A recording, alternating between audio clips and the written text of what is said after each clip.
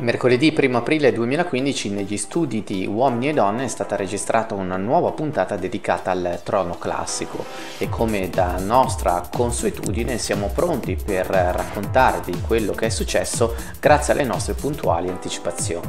Dopo il solito sparietto di Tina Cipollari si parte dalla scorsa settimana con Valentina che si reca nei camerini per chiedere spiegazioni a Gianluca. Lui ribadisce il suo interesse nei suoi confronti, i due si chiariscono e il ragazzo torna in studio. Valentina esce in esterna con Mariano. Lui l'aspetta in un roof per una cena romantica, ma la tronista non sembra dell'umore adatto. Le sono arrivate delle voci all'orecchio su di lui.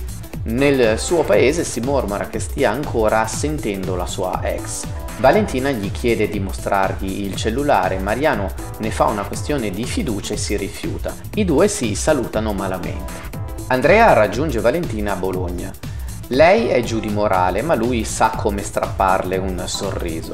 I due si concedono una romantica passeggiata al termine della quale scatta il bacio, molto sentito e sincero a detta della stessa Valentina.